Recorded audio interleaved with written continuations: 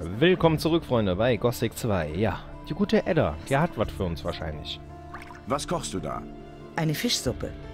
Sie ist nicht besonders würzig, aber wenigstens heiß. Oh, Du kannst gerne einen Teller probieren. ja, aber gerne doch den... Ach, ne? Kann man doch, hier du. Was kannst du mir über die Stadt sagen? Die meisten Bürger der Stadt haben Angst vor Dieben.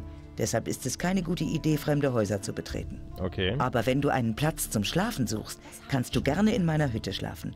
Ich habe noch ein Bett frei. Hast du keine Angst vor Dieben? Das einzig Wertvolle, was ich je besaß, ist mir schon genommen worden. Meine Innos-Statue wurde mir gestohlen. Oh. Okay. Kannst du mir eine Suppe kochen? Ich koche für alle Leute. Auch für dich, wenn du willst.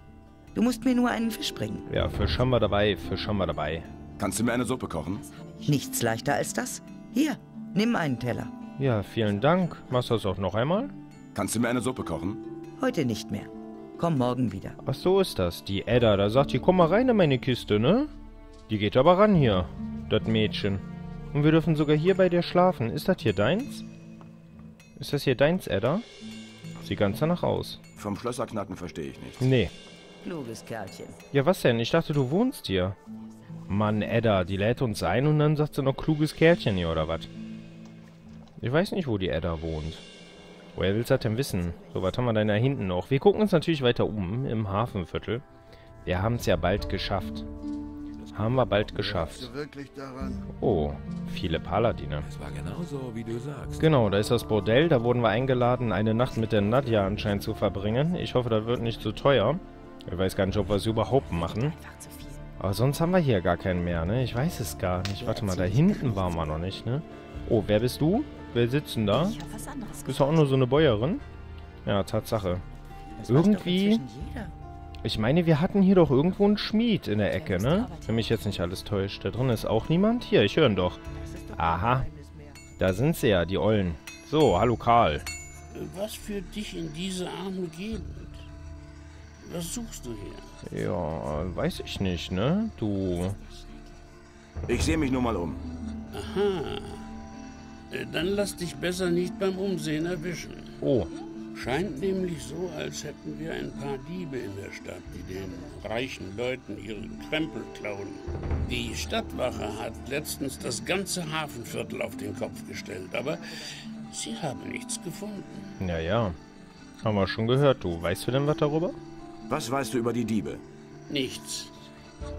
Aber alle Bürger haben Angst und sind misstrauisch geworden, ne?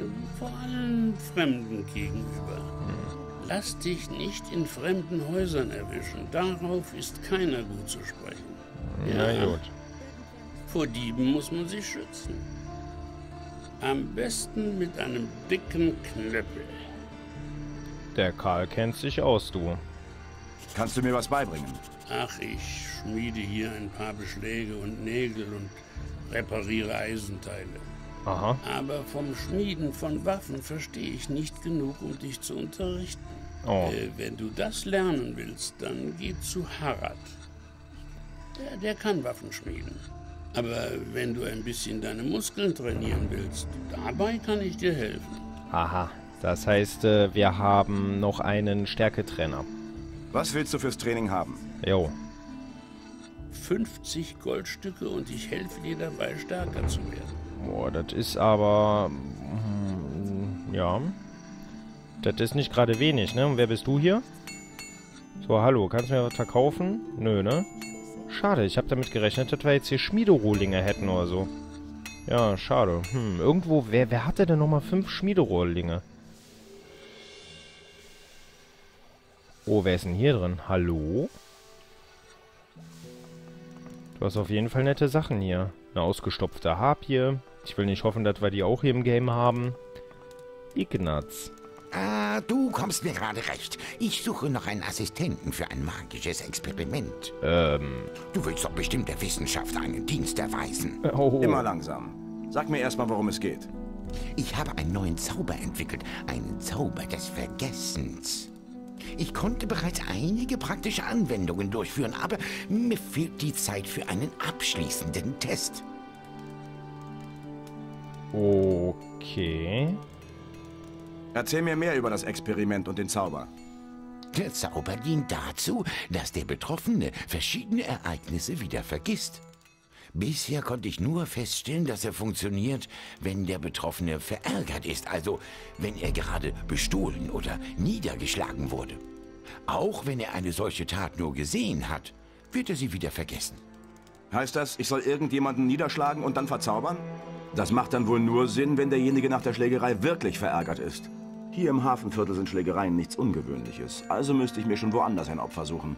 Ja, ich denke, du hast verstanden, worum es geht. Aber um jemanden zu verärgern, reicht es, wenn du ihn angreifst. Du musst ihn nicht niederschlagen. Bevorzugt dafür sind Leute, die alleine sind. Wenn noch weitere Personen anwesend sind, kriegst du nur Probleme mit Lord André. Ja, ja, ja. Und es macht wenig Sinn, den Zauber auf jemanden zu sprechen, der dich gerade angreift. Warte auf den richtigen Augenblick.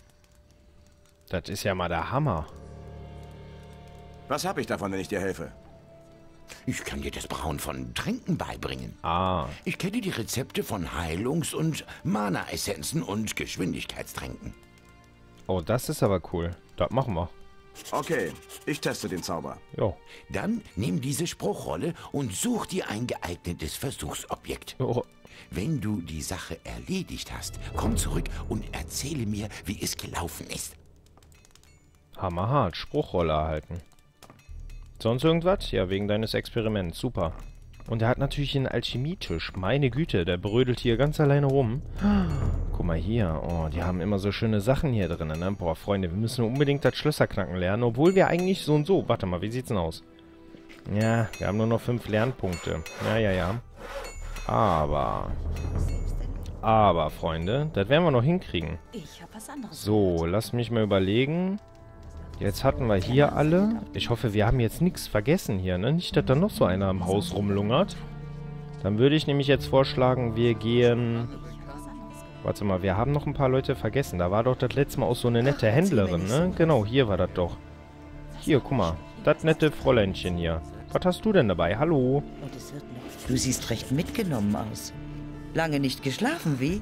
Oh. Zu lange, würde ich sagen. Komm ruhig näher. Bei mir wirst du finden, was du suchst. Oho, dürfen wir mal fühlen, oder wie hier? Du sagst, du hast, was ich brauche. Auch Informationen? Aber ja doch. Was willst du wissen? Oh, die ist aber nett, hör mal. Dann, ähm, sag doch mal hier. Ja, Gibt es noch andere Händler hier im Hafen? Wenn du dich an der Kaimauer links hältst, findest du meinen Mann Halvor. Er verkauft Fische. Auf der anderen Seite gibt es da noch Brahim, den Kartenzeichner. den haben wir. Alles klar. Kennst du jemanden aus dem oberen Viertel? Wenn ich jemanden dort kennen würde, dann würde ich hier sicher nicht stehen, mein Junge. Oh. Die ist schon mir wiederum sympathisch. Was gibt es hier im Hafen Interessantes zu sehen? Nun, wenn du etwas erleben willst, dann geh doch einfach rüber zu Cardiffs Hafenkneipe an der Kaimauer. Da ist immer was los. Aha. Du kannst es kaum verfehlen. Der Kerl, der da am Eingang steht, wird dich sicher darauf aufmerksam machen. Oh, Ansonsten gibt es da noch das große Schiff der Paladine, die stattliche Kriegsgaleere des Königs. Wirklich sehenswert. Wenn du dich an der Kaimauer links hältst und unter der hohen Felswand hindurchgehst, wirst du es finden. sehr gut. Das heißt, wir werden uns auf jeden Fall das Schiff angucken. Ist hier in letzter Zeit was Aufregendes passiert? Kann man wohl sagen. Ist noch gar nicht lange her. Ein Dieb ist hier vorbeigerannt. Er hatte wohl in der Unterstadt einen Bogen gestohlen. Oh, vom Boss. Die Miliz kam natürlich wie immer viel zu spät. er ist ihnen entkommen, ist einfach ins Hafenbecken gesprungen und weg war er. Er Der ist ins Becken gesprungen. Na gut. Zeig mir deine Ware. Der ist einfach ins Wasser gesprungen. Da ist er ja irgendwo hingeschwommen, ne? So, sehr schön, Freunde. Das ist doch wunderbar. So, dann, ähm, wo ist der Händler von ihr? Hier links, ne? Irgendwo. Schlimmer. Haben wir den... Ach, ja, da hinten, ne? Du warst ja, genau. Der kümmert sich um Nadja. So, du bist der Händler, ne? Du bist doch der Händler, jawohl. Hey, brauchst du Fisch? Bei mir bekommst du Fisch ganz frisch aus den Tiefen des Meeres. Okay. Sehr nett. Zeig mir deine Fische. So macht man das. Zeig mir deine Fische. Feststellen, er hat Fisch dabei, was uns nicht interessiert. Und dann was anderes fragen. Kannst du was über die vermissten Leute erzählen? Vermisste Leute? Das ist ein Hafen hier, Kollege. Da passiert schon mal sowas. Die See ist tückisch. Da kommt schon mal der eine oder andere ums Leben. Damit die Mannschaft wieder komplett ist, heuert der Kapitän von einem großen Schiff in einer Hafenstadt wie Korinis wieder neue Seeleute an. Wenn er keine Freiwilligen findet, dann wird der eine oder andere auch mal mit Gewalt an Bord gebracht und ist dann einfach weg. Ja, du bist mir ja ein Schlaumeier. Vermisst du jemanden? Ich? Nein. Ja, wenn die mit auf Schiffe mitgenommen werden, es sind doch lange keine Schiffe mehr hier gewesen, ne? Welches Schiff soll denn das gewesen sein? Gute Frage. In letzter Zeit kamen nicht so viele Schiffe nach Korinis. Das ist wahr. Du bist ein Heller, ne? Kennst du jemanden, der vermisst wird? Keine Ahnung. Frag doch mal die Bootsbauer. Ja, den haben wir ja schon gefragt, ne? Das war doch der, der die Ork-Information haben wollte. Der hat gesagt, dass irgendein Fahrriemen oder so, ne? Den William vermisst. Na gut, okay. Dann haben wir den auch noch. So, was machen wir denn jetzt? Gehen wir erst ins Bordell und so? Eigentlich müssen wir uns... Nee, komm, machen wir jetzt mal. Gehen wir mal rein hier. Was haben wir denn hier? So, hallo. Was stehst du hier draußen rum? Geh rein und triff dich mit der leidenschaftlichen Nadja. Dieses heiße Geschöpf der Nacht wird deinem Leben einen neuen Sinn geben. Da bin ich ja mal gespannt. So, wen haben wir denn hier Schönes? Guten Tag, die Damen. Guck mal, Sonja. Sprich mit Bromor, wenn du Spaß haben willst. Oha. Jo, da fühlt man sich, äh, Nadja. Hey, ich kann mich jetzt nicht um dich kümmern, Süßer. Sprich mit Bromor, wenn du dich amüsieren willst. Oh. Ich will dir nur ein paar Fragen stellen über die verschwundenen Leute. Ich könnte dir einiges erzählen, aber nicht hier, Süßer.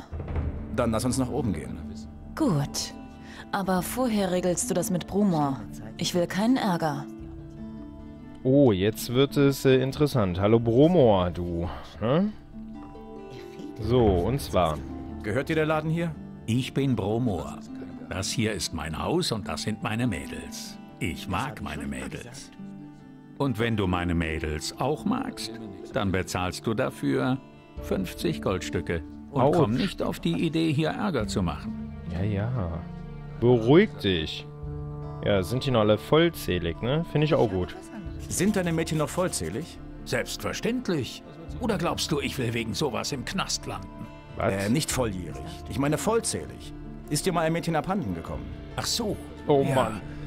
Tatsächlich ist eins meiner Mädchen weg. Lucia ist ihr Name. Ich habe es auch schon der Miliz gemeldet. Aber die behaupten bisher noch keine Spur von ihr gefunden zu haben. Okay. Seit wann ist Lucia nicht mehr da? Schon einige Tage. Genau weiß ich das nicht. Ich gehe davon aus, dass sie mit einem ihrer Freier durchgebrannt ist. Das Miststück hat einen Teil meiner Ersparnisse mitgehen lassen. Es war eine sehr wertvolle goldene Schale. Wenn ich sie zu fassen kriege, kann sie was erleben. Oh. Was geht dich das eigentlich an? Willst du dich jetzt amüsieren oder was? Ähm, ja, ja, ja, ja, klar. Ja, wollen wir, ne? Wollen wir. Ich will mich amüsieren. Gut. Die nächsten Stunden deines Lebens wirst du so schnell nicht vergessen. Geh mit Nadja nach oben. Viel Spaß. Ähm, ja, dankeschön. Nadja, genau, nimm dir noch einen Schluck, ne? Man trinkt sich ja schön. Oder nicht? Hey, you! So, jo. Lass uns hochgehen. Heute ist dein Glückstag, Süßer. Gehen wir. Sehr schön. So, Moment mal. Bevor wir hier weitermachen, Freunde, einfach mal vorsichtshalber. Jo. Da sind wir nämlich. So, jetzt wollen wir mal gucken. Mit der hübschen Nadja. Der Folgen wir ja. Guck mal, da oben steht sogar noch ein Typ von der Miliz. Ich glaub's ja nicht. Was macht der denn da oben? Naja, die dürfen ja auch ihren Spaß haben. Darf ich hier rein? Ohne den richtigen Schlüssel kriege ich das nie auf. Oh Mann, immer brauchen wir einen Schlüssel immer. Wir haben jetzt einen Schlüssel gefunden, glaube ich. Ja, ne, Ladies Ach, first. erzähl mir nicht sowas. Mit der Nadja nach oben. Da bin ich ja mal gespannt. Die will sich eigentlich mit uns äh, unterhalten. Ne? Wenn ich es nicht mit eigenen Augen gesehen hätte. Hallo, darf ich stören? Ach, guck mal, hier ist der Peck. Und wer ist das hier? Vanya. Hey, you! Ich bin beschäftigt. Äh, ja, ich will nur zugucken. So, was ist mit dir hier? Hey, was liegt an? Mann, ich bin beschäftigt. Lass mich in Ruhe. Ja, ja, meine Güte. Uiuiuiui. Ja, man tut auch eigentlich nicht dabei Dann stören, ne? das. Was ist hier los? Hallo? war doch seine Entscheidung. Nett. Aber wo ist denn Nadja? Wahrscheinlich im letzten Zimmer, ne? Platzt da einfach so rein im Modell. Hallo. Das früher So, haben wir hier irgendwas Schönes, was ich mitgehen lassen kann? Weder noch, ne? So, Nadja, meine Gute. Wie sieht's denn aus? Ah, guck mal hier. Können wir jetzt reden? Hier oben sind wir ungestört. Romor sieht es nicht gerne, wenn wir während unserer Arbeit mit den Gästen reden, ohne dass es ihm etwas einbringt. Du willst also mehr über die verschwundenen Leute hier am Hafen erfahren, ja? Ich weiß nicht, ob ich dir eine große Hilfe sein kann, aber ich kann dir sagen, wohin Lucia verschwunden ist. Aha. Dann, ähm, ja, bitte, ne? Erzähl mir von Lucia. Niemand ist hier wirklich traurig darüber, dass sie weg ist. Warum? Ich glaube, es gibt niemanden hier, den sie nicht versucht hat auszunutzen. Sie Oh. war ein echtes Miststück. Oha. Wohin ist sie verschwunden? Sie hat sich öfter mit Elrich, dem Lehrling des Tischlers Torben aus der Unterstadt, getroffen. Ah. Ich wette mit dir, dass sie mit dem jungen Kerl durchgebrannt ist. Und das schon seit einiger Zeit, ne? Wo könnten die beiden hingegangen sein? Wenn sie nicht von den Wölfen gefressen wurden, dann schätze ich, sind sie bei den Bauern untergekommen. Wo sollten sie auch sonst hin? Okay. Was weißt du sonst noch? Ich habe vieles über verschwundene Leute hier am Hafen gehört. Aber ich bin mir nicht sicher, ob ich den Geschichten Glauben schenken darf.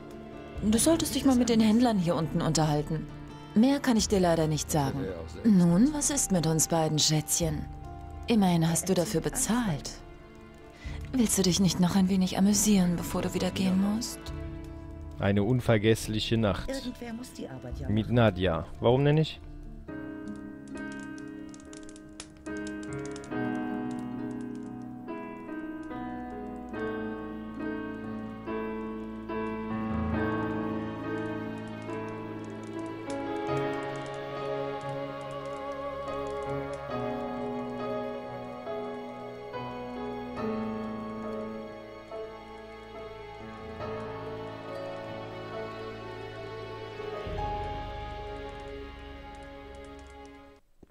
Das ist kein Geheimnis.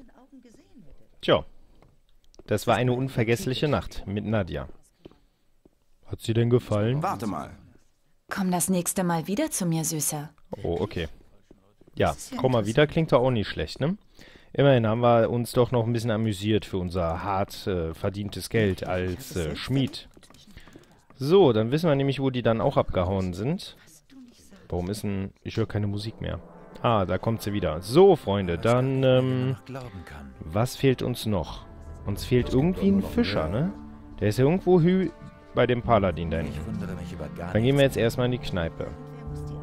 In die Kneipe. Guten Tag. Wie, nur zwei Mann hier? Das hier ist der Nagur? Nagur? Wie auch immer. Schade, hier hinten haben wir nix. Wie, kein Freibier oder was hier? Hey, Ich hatte gerade eine aufregende Nacht mit einer schönen Dame. Ich brauche was zu trinken. gib mir was zu trinken. So, was hat dann dabei? Ähm, nee, nicht so mein Geschmack, ne? Was ist das hier? Wein. Brauchen wir nicht. So, Gib mir was zu trinken. das war falsch. Verzeiht. Wie sieht's aus? Wenn du was trinken willst, dann bestell dir was. Nee, nee. Ich, äh... Du kriegst doch bestimmt eine Menge mit. Und? Was geht dich das an? Ich habe immer ein offenes Ohr für Neuigkeiten. Hast du auch einen offenen Geldbeutel? Jede Information, die ich dir gebe, kostet dich 10 Goldstücke. Wow. Moment mal. Ich gebe dir höchstens fünf für deine Informationen. Ja. Was? Fünf Goldstücke? Willst du mich ruinieren? Sagen wir sieben. Ähm... Nee. Nein, so läuft das nicht. Sagen wir sechs. Ja. Du bist ein Schlitzohr, weißt du das? Na, meinethalben, sagen wir sechs Goldstücke für jede Information. Meinethalben. Okay, dann äh, sag mal an. Ich brauche Informationen. Jetzt dürfen wir dem sogar noch Geld geben dafür, ne? Und zwar, bei wem kann ich hier was lernen? Brauchen wir nicht. Ähm, ja, und ja, die einflussreichen Bürger der Stadt wissen wir ja auch, wer dazu gehört, ne? Deswegen kommen wir zu den wichtigen Sachen. Was weißt du über die vermissten Bürger? Nur so viel, dass die letzten Tage einige Leute nicht mehr aufzufinden sind. Hier am Hafen ist es besonders schlimm, sagt man sich. Frag doch mal die Leute hier im Hafen. In der Unterstadt soll es auch einige Fälle gegeben haben. Wenn du mehr darüber wissen willst, sprich mit Koragon. Er hat seine Kneipe in der Unterstadt und bekommt vielleicht das eine oder andere mit. Haben der. Fischhändler Halvor unten am Kai könnte auch was wissen. Viele Leute gehen regelmäßig zu ihm. Bei dem waren wir auch schon. Da geht's ja nur um den Fischer. Na gut. Wo kann ich Arbeit finden? Hier im Hafenviertel wird dir kaum jemand Arbeit geben. Da musst du schon in die Unterstadt zu den Handwerkern gehen. Aber wenn du eine gute Waffe schwingst, dann kannst du ja Alrik herausfordern. Er kämpft für Gold hinter dem Lagerhaus. Da müssen wir so und so noch hin, weil da hat er jetzt sein Schwert wieder. Hast du denn nicht irgendwie was äh, was Besonderes? Gibt es hier auch spezielle Arbeit, bei der ich schnell was verdienen kann? Was Spezielles also. Hm. Hm. Guck mal, wie er sich umguckt. Oh. Sprich mal mit Nagur. Vielleicht kann er dir weiterhelfen. Aha. Okay. Hast du noch was Spezielles für mich? Ich hätte da schon was. Ist allerdings nur interessant, wenn du ein Mann mit vielseitigen Talenten bist. Sind wir was hast immer. du für mich? Nun, Zuris, der Trankhändler am Marktplatz, beherbergt zurzeit den Feuermagier Daron als Gast. Und? Er hat extra für ihn eine neue Truhe bei Torben, dem Tischler, anfertigen lassen. Angeblich hat dieser Daron eine ganze Menge wertvollen Kram mitgebracht. Aber von mir hast du das nicht gehört, klar? Coole Sache. Okay, dann hab schon mal vielen Dank. Den Rest braucht man nämlich nicht. Glaube ich zumindest. Wenn ich was vergessen habe, Freunde, da unten reinschreiben. So, dann, ähm, ja, dann, dann wollen wir uns doch mal mit dir unterhalten, ne? So. Cardiff meinte, du hättest einen Job für mich. So, so. Du suchst also einen speziellen Job, okay. Aber es läuft nach meinen Regeln, verstanden? Mhm. Was soll das heißen? Das heißt, du tust das, was ich sage und kriegst ein Drittel vom Gewinn. Wenn dir Was? das nicht gefällt, dann gibt's auch keinen Job. Nö, vergiss es. Da, nee, hier, komm, komm. Ja, ja, ja, hier von wegen ein Drittel immer. Ne? Wir arbeiten zusammen, also machen wir auch halbe halbe. Okay, ich habe mir gedacht, ich probier's einfach mal. Natürlich teilen wir unseren Gewinn gerecht. Dachte ich mir. Gut, dann erzähl. Okay, was ist dein Plan? Du kennst doch den Händler Baltram, oder? Falls nicht, wird es Zeit, dass du mal mit ihm redest. Oh. Dieser Baltram hat einen Boten, der ihn mit Waren von Akils Hof versorgt. Das heißt, er hatte einen Boten, denn ich habe ihm die Kehle durchgeschnitten. Und Baltram muss jetzt einen neuen einstellen und das wirst du sein. Dein Job ist es, dich von Baltram einstellen zu lassen und die Lieferung von Akil abzuholen.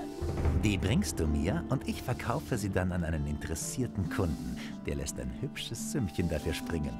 Und versuch bloß nicht den Kram selbst zu verkaufen. Hast du alles verstanden? Verstanden und angekommen.